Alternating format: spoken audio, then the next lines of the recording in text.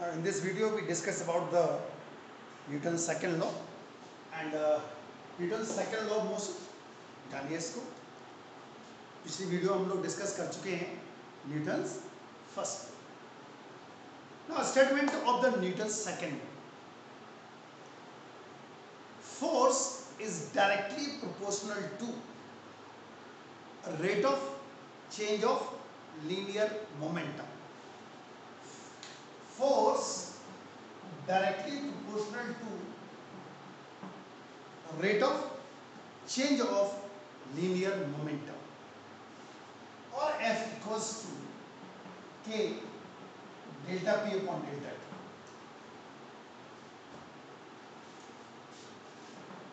M V minus U upon T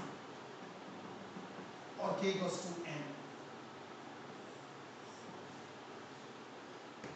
Experimentally found that the value of K which is proportionality constant is 1. F equals to N. इसको ऐसे भी कर सकते थे F is directly proportional to dp over dt और F equals to K dp over dt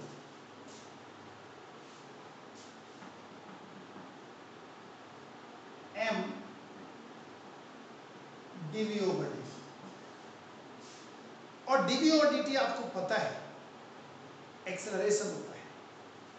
So F equals K M और K equals to one so F equals to M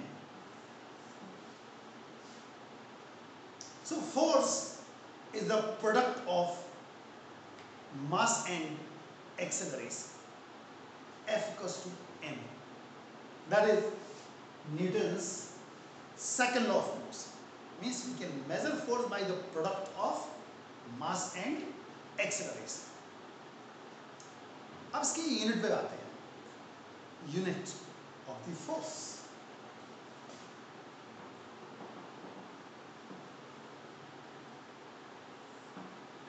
unit of force तो पहले absolute unit लेके चलते हैं absolute unit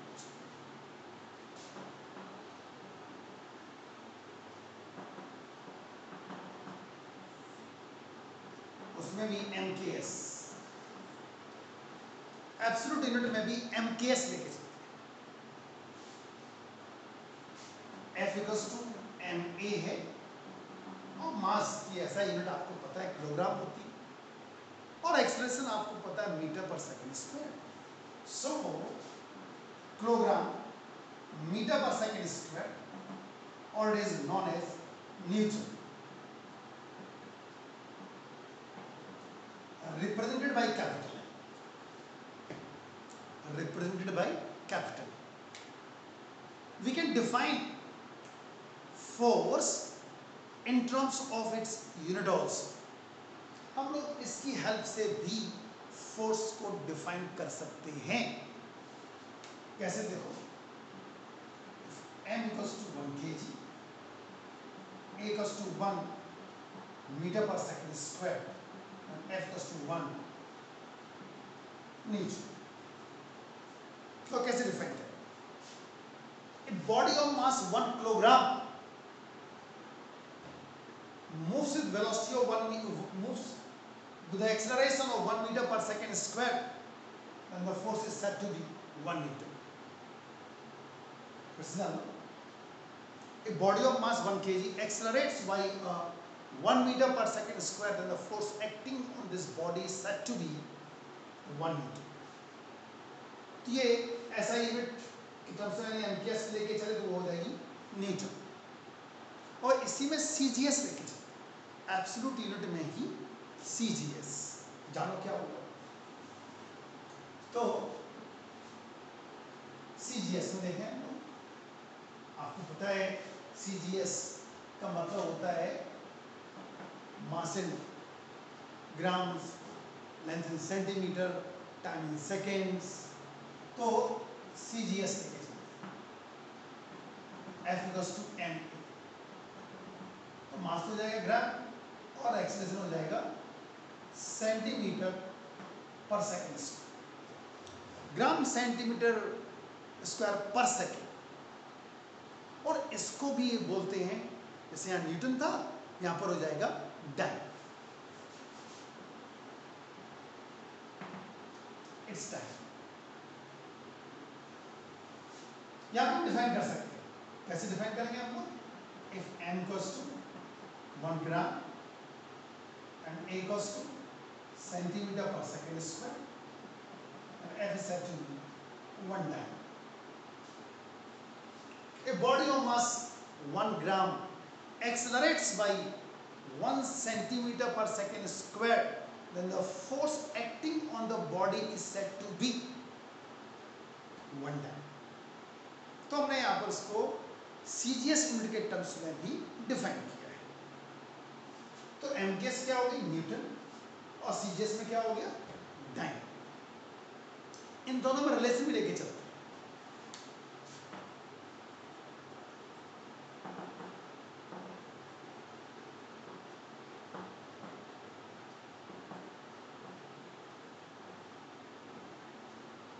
Newton और डायन में रिलेशन लेके चलते हैं आखिरकार एक न्यूटन कितने डायन के बराबर होगा? तो आपको पता है कि one Newton kilogram meter per second square होता है। और अब इसी को देखो, किलोग्राम को ग्राम में कन्वर्ट कर दो आपको पता है एक किलोग्राम में थाउज़ेंड ग्राम्स होते हैं। And in one meter, there are 100 centimeters per second square तो power five gram centimeter per second square और आप यहाँ से देखें gram centimeter per second square किसके बराबर dyne so one Newton equals to ten power five dyne ये आपको रिलेशन मिल जाएगा। One Newton equals to ten to power five dyne ये तो होगी एब्सोल्यूट यूनिट के बारे में। इसकी एक ग्रेविटेशनल यूनिट भी हुआ करता है। फोर्स की एक ग्रेविटेशनल यूनिट भी होगी। चलो, वो डिस्कस करते ग्रेविटेशनल यूनिट क्या होगी फोर्स तो देखो। और इसमें भी हम लोग एमकेएस और सीजीएस लेते जाएँगे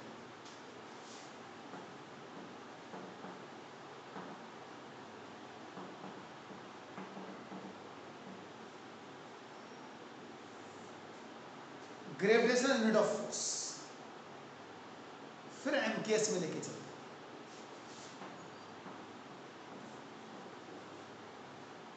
एमकेएस में लेके चलते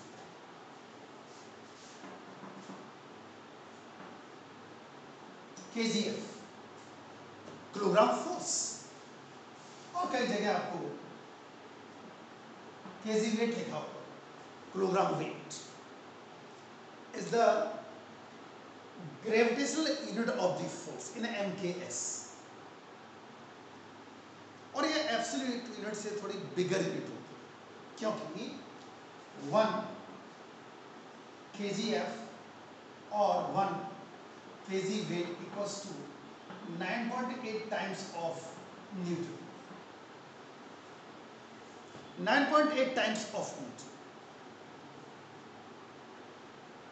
अब जैसे बाई चांस कहीं किलोमीटर मिलेगा आपको force of five kilogram weight ये लिखा हुआ।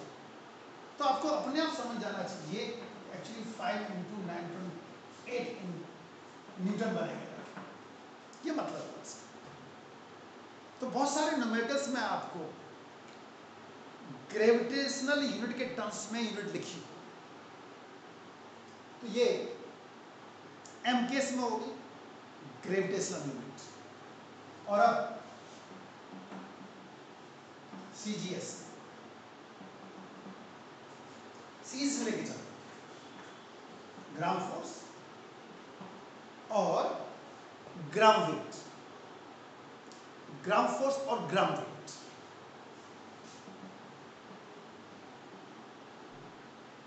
इट्स 980 टाइम ये सी जी एस में होगा।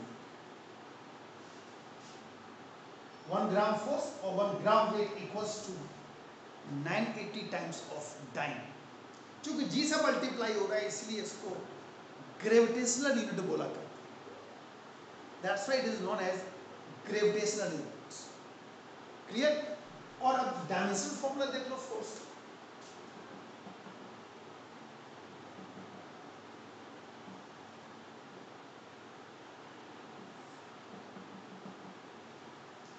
टू एम का तो एम हो गया। और ए का डायमेंशन फॉर्मूला आपको याद हो। L T minus two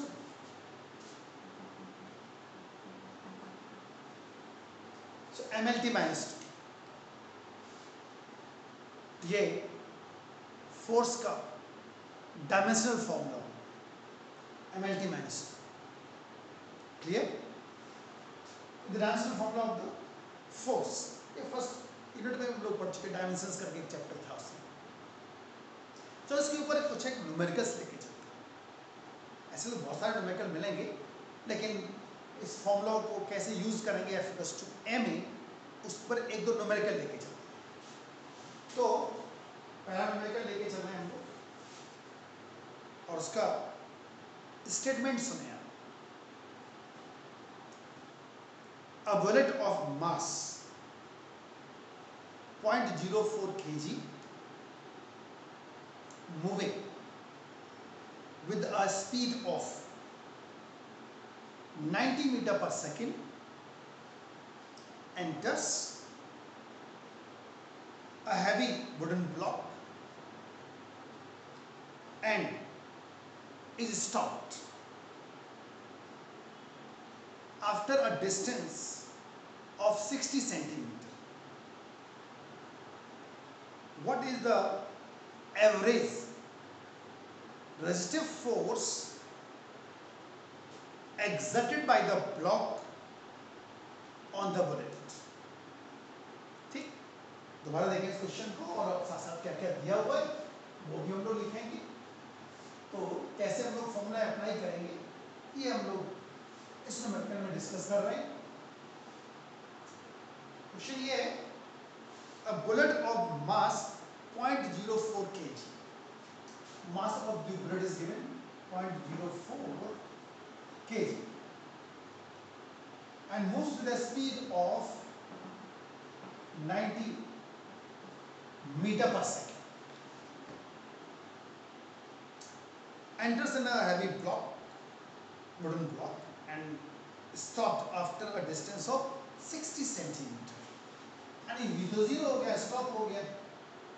और डिस्टेंस 60 सेंटीमीटर है तो 0.6 मीटर हो गया। क्योंकि तो आपको पता है कि सारी यूनिट एक ही सिस्टम में होनी चाहिए। और अब निकल हमारे रेजिस्टिव फोर्स यानी कि रिटार्डिंग फोर्स आपको ही पता है कि रिटार्डेशन आएगा स्पीड ज़्यादा थी, कम हो रही इसका मतलब रिटार्डिंग फोर्स लगेगा इसके ऊपर। तो लगाना तो मैं F equals to M A लेकिन इसमें हमें एक्सलरेशन निकालना पड़ेगा। एक्सलरेशन अब देखो इसमें आप देखें कि एस दिया हुआ है। इनिशियल और फाइनल वेलोसिटी गिवन है। तो इसका मतलब मुझे third equation of motion use करना और आपको पता है वो V square equals to U square plus two A S क्योंकि टाइम डिपेंड तो दो इक्वेशन तो वैसे यूज़ नहीं हो रहे फ़र्स्ट और सेकंड इसलिए थर्ड यूज़ करना पड़ा। V ज़ीरो है। और यू 90 है। और s 0.6 है। 90 into ninety upon two into point six जब इसको सॉल्व करेंगे तो एक्सलेशन मिलेगा। माइनस तो ही है। Six seven five zero meter per second ये एक्सेलरेशन आ गया। और अब तो कोई दिक्कत ही नहीं मास गिवन है। तो ड्राइविंग फोर्स क्या हो point zero four into six seven five zero उसको सॉल्व करेंगे तो माइनस टू सेवेंटी मीटर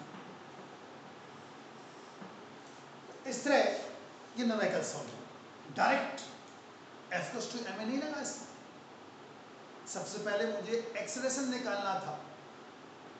और इसके लिए हमें third equation of motion use करना पड़ा वहाँ से एक्सलेशन निकाला, उसके बाद न्यूटन सेकेंड लॉ लगाया एफ़ इक्वल्स टू एम तब जाके आपको मिला 270 न्यूटन ठीक है?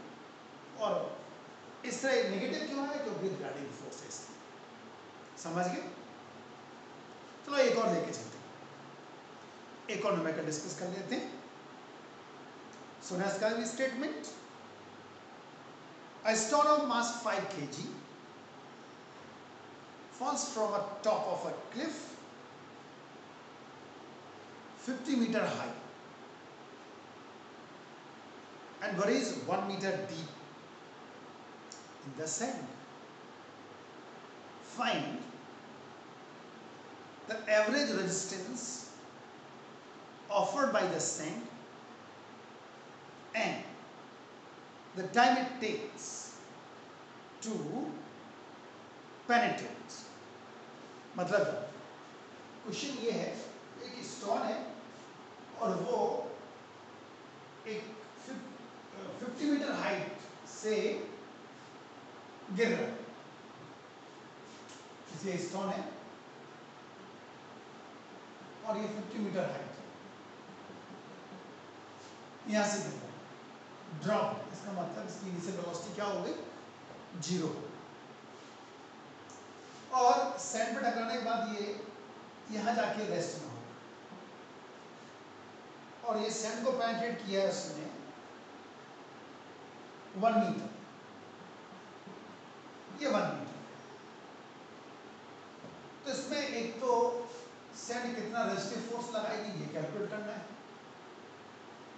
और सेकंड पार्ट इसका ये है कि यहाँ से यहाँ तक आने में उसको कितना टाइम लगा फिर से सुन लें आप statement stone of mass 5 kg falls from the top of a cliff 50 meter high and varies 1 meter deep in a sand.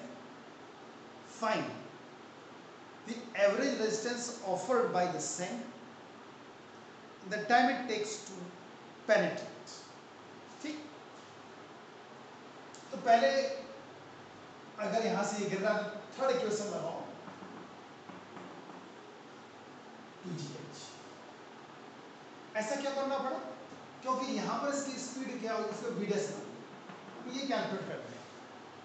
जो कि इस स्टेप के लिए सेकेंड स्टेप जब वो ग्राउंड को टच कर रही है सैंड को टच कर रही है तो ये उसके लिए यू बन जाएगा। सेकंड स्टेप में जो वी होगा वो यू बन जाएगा और उसकी भी ज़ीरो हो जाएगा तो यहाँ कितनी स्पीड है, ये निकालना है तो मैं थर्ड इक्वेशन यूज़ करना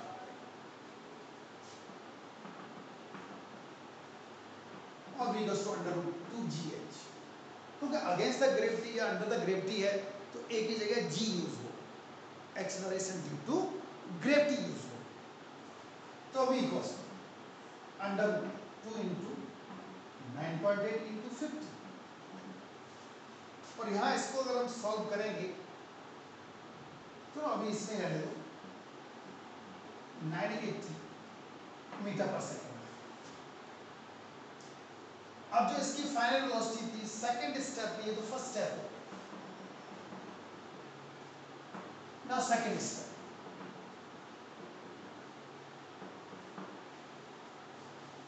अब यही स्पीड सेकंड स्टेप में यू बन जाएगा। अब हमें ए निकालना पड़ेगा। Again third equation two A S retarding force निकालना है। ए निकालना पड़ेगा। तो अब ये तो ज़ीरो हो गया। जो वी था वो यू बन गया नाइन एट्टी हो गया। रूट का इसका कैंसिल हो जाएगा। Two A S one meter A निकालेंगे नाइन एट्टी बाई टू और फोर नाइन्टी माइनस में मीटर पर सेकेंड स्क्वायर हो गया ए। और अब फोर्स निकालने में बिल्कुल दिक्कत नहीं आएगी क्योंकि सेकेंड लॉ यूज़ करेंगे हम लोग F equals to M A M stone का मास दिया फाइव के जी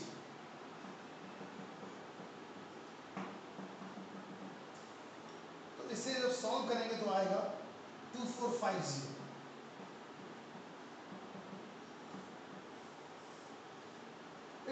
side अब इसका एक पार्ट और बचा हुआ है।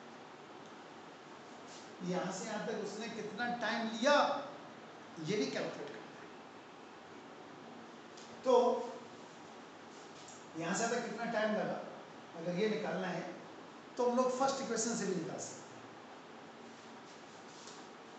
v equals u plus at V zero हो गया और यहाँ पर u root nine eighty plus A into A भी निकाल चुके हैं हमको।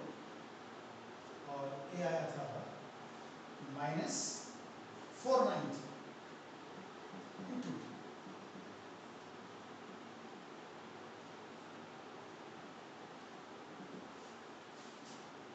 उसको सॉल्व करेंगे तो आएगा answer point zero six four seconds तो ये बने। यानी यहाँ से यहाँ तक जाने में इसको कितना टाइम लगा समझ गया क्वेश्चन एक पिस्टॉन था जो 50 मीटर हाइट से ड्रॉप हो रहा है और सेंड को पेंटेड कर रहा है वन मीटर और फिर रुक जाता है। तो सेंड कितना रिटार्डिंग फोर्स एग्जर्ट कर रही है? कैलकुलेट करना था। और पेंटेड करने में कितना टाइम लगा, ये कैलकुलेट करना तो हम लोगों ने फ़र्स्ट स्टेप यूज़ किया। अंडर द ग्रेविटी आ रही इसलिए यहाँ पर acceleration due to gravity count होगी। थर्ड इक्वेशन यूज़ किया। और वहाँ से हमने वेलोसिटी निकाली। और ये जो वेलोसिटी फ़र्स्ट स्टेप में आई है। वो सेकंड स्टेप में इनिशियल बन जाएगी और फाइनल ज़ीरो हो सेकंड स्टेप यूज़ कर लिए सेकंड स्टेप यूज़ इसलिए करना पड़ा क्योंकि हमें एक रिटार्डेशन निकालना था।